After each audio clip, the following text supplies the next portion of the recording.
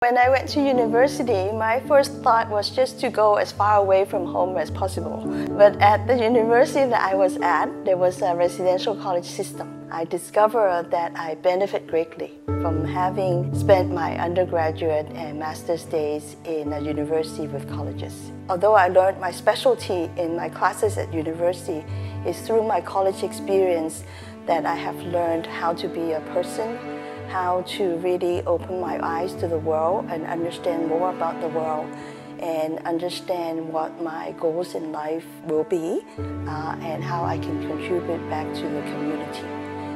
So that is why I'm a very firm believer of the residential college system. The residential college is sort of fully engaged in the overall educational plan for the students. Uh, and I also think the, the scale of the college is exactly the right size. 500 is a really right size community, not too small, big enough so that there's a diversity of students. And through those activities with other students from other backgrounds and other majors uh, can learn more about actually themselves think more about their own goals, learn about the world, and think about how to contribute uh, their community. That's what I hope. A academic but friendly atmosphere, that's what I want to build in the college, and a community of people who care about each other and who also care about the big community around us.